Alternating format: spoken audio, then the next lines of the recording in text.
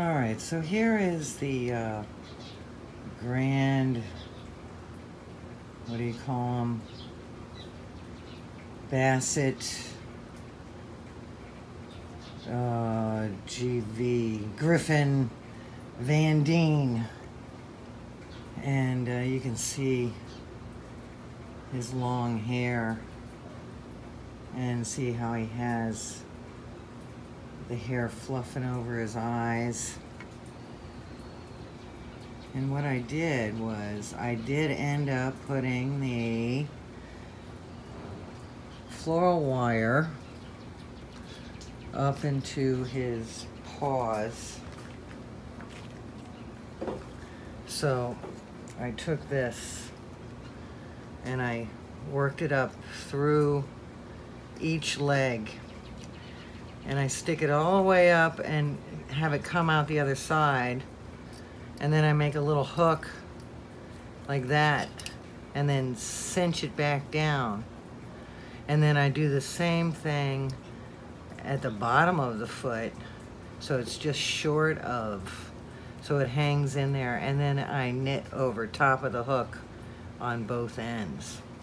And then that way I can move the legs if I want and he has good support in here. So he's a hairy dog and you can see you know that it really really looks like the dog. Now these hairs I mixed the viscose white peach with my white, but the white is the long strands.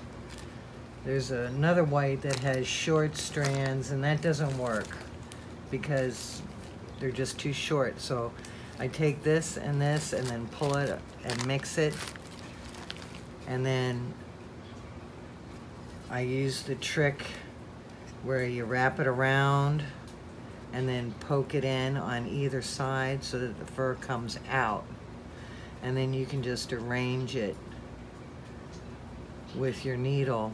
And you can see here I added a little bit of that uh, raw sienna because he does kind of have that and a little bit on his face and his mouth. And so that is the uh, finished dog.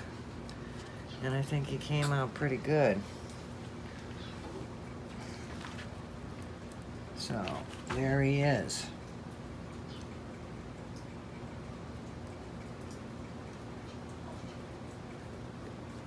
Okay. Nice.